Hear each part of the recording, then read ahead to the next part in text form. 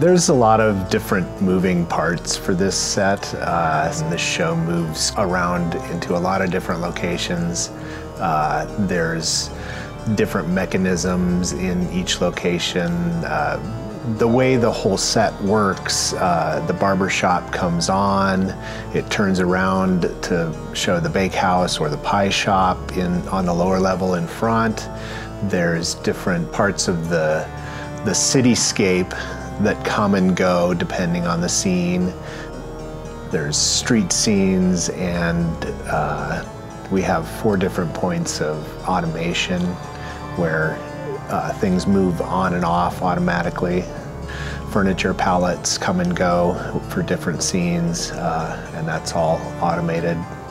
Well, with Sweeney Todd, we're doing it in a steampunk fashion, so it's really turn of the century, like 1890s which is like the industrial age. So there's gears and there's goggles and there's straps and belts and buckles all over the costumes. You know, it's a pretty good look. It's fun. It'll keep you watching.